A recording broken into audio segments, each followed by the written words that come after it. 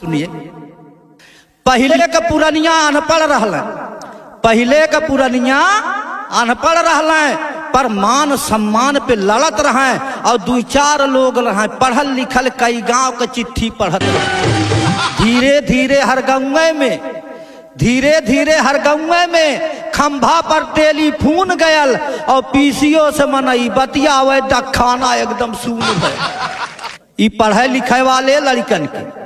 पढ़े लिखे वाले लड़कन के। नैकी स्टाइल खाए गईल। और बेटवा बाप महतारी घर में बिटियो मोबाइल पाए गई अब घरे घरे घंटी बाजे।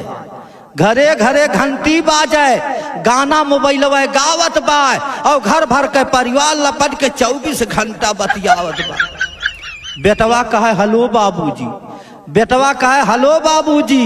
परदेश में अपना पड़ता है, और जितना कमाई लो ढेर हमारे मोबाइल में खर्चा अब बाजे लगल ब्लाउज में, अब बाजे लगल ब्लाउज में हाथ डार के टोवैली, कब्बो हंसाई कबो रोवैली, पुरखन का इज़्ज़त धोवैली और ही कर जवे पर रख के सोवैली।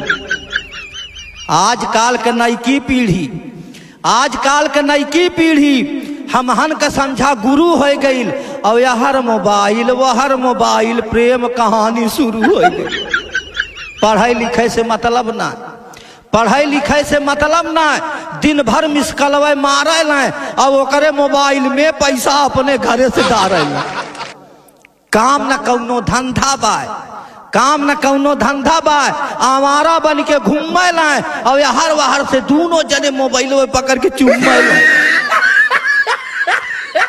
हर बार से दोनों जने मोबाइल पकड़ के चुम्बे ला तो नक्सलवाद आतंकवाद के तुरंत मोबाइल खबर दे बा लूट छिनैती यौ डकैती, यही मोबाइल से मर्डर होत बा। तो भूतकाल भविष्य काल वर्तमान काल के ख्याल करा और गलत मोबाइल आपन मत गुलाब इस्तेमाल करा। जय जय भारत।